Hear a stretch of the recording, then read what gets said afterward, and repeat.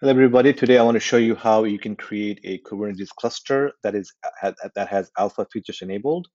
Um, normally, you go alpha, beta, and stable. So when you create a cluster in Kubernetes, uh, cluster in GKE, you get the stable release. You don't get the alpha one. So, and why we need that? We need alpha features enabled cluster so that you can um, install Argo project like um, Argo rollout, Argo CD, and whatnot. Um, so it's, it's a prerequisite for that. So I'm going to show you how to do that. To do this, we need access to uh, G, Google Cloud with uh, permissions for GKE. We also need G Cloud CLI installed on our box. Both are, we, I have both of them ready. Um, and then once you've done it, I will um, show you that it, it, got created, what the version it is, and whatnot. Um, I'll do a dump of the cluster information and gives you tons of good information about the cluster. Uh, to do this, the way you do that is you run this command. You, you give a cluster name, you give it a region.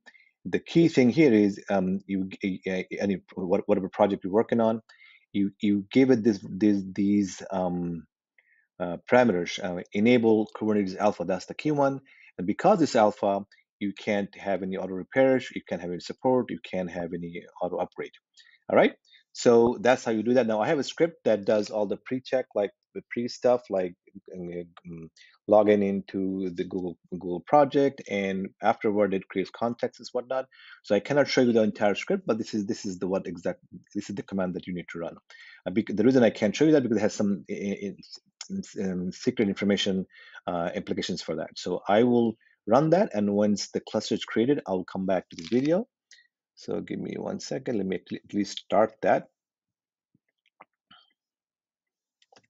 That's my script that does it. And I will start that and I'll pause the video and come back in about seven minutes.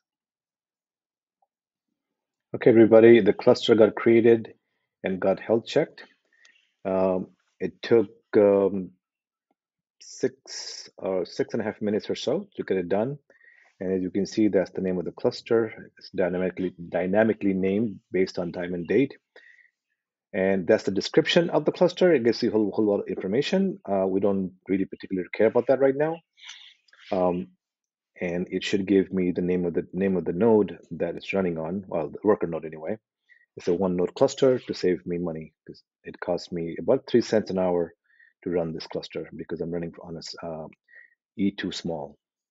All right, it's right, now is generating the kube um, um, kubectl context. Context is just a connection between your machine and the cluster, so that and, and including authentication, so that you know um, you can when you run kubectl command, it, it knows where which cluster to run against and the namespace. All right, so almost done here. It gives me a list of all the pods, and right now no, there's no pod in the default namespace, just kube, kube system.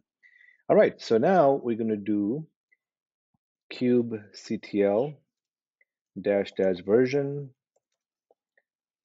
uh, actually version, just version, version dash dash short. It will give me the version of kubectl locally installed and name and the version of the server cube the, the Kubernetes server that's running on GKE and it's running 1.24.8. That's the default right now as of January 2023.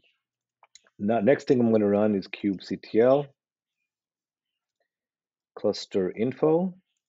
It will give me a summary of stuff about the cluster, especially the URLs of different endpoints. And now I'm going to run the same command with the dump option. It, give, it will give me a million piece of information about the about the cluster we don't really care about everything about that. What I'm going to do is I'm going to uh, run this again, send it to a file, and open up the file to show you that it has it has some alpha stuff in it. All right, any day now. So if I edit the file, search for alpha, you see there's some alpha stuff included in this cluster.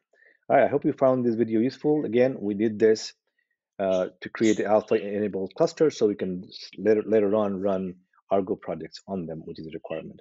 I will see you in the next video.